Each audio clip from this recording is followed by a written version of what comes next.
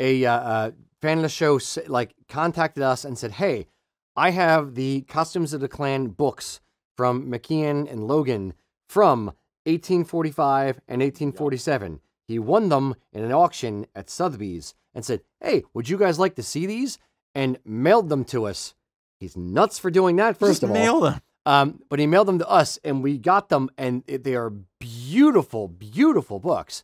Um, the artwork in the books is still like freaking pristine, but they are fragile, and I am scared to death. Oh, like I'm like, oh, I don't want to touch these. These scare the hell out of Yeah. me. They're sitting in my office, like you know, tucked away in the corner, so like light isn't on them, no moisture is near them. These historical artifacts are beautiful. I'm just scared to death to touch the damn things. Mm-hmm.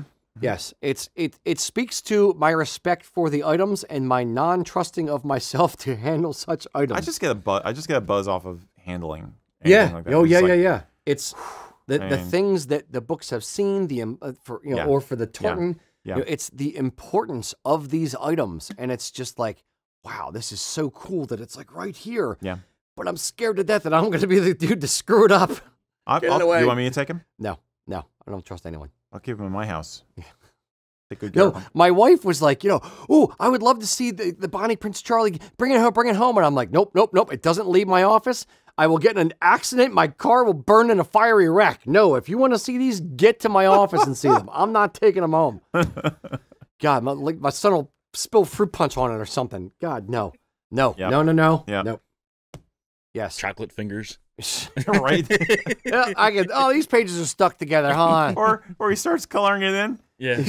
Daddy, there's no castle in this picture of the Scottish person, so I put I a need to castle draw a in. sun. Look, mommy, I made it better.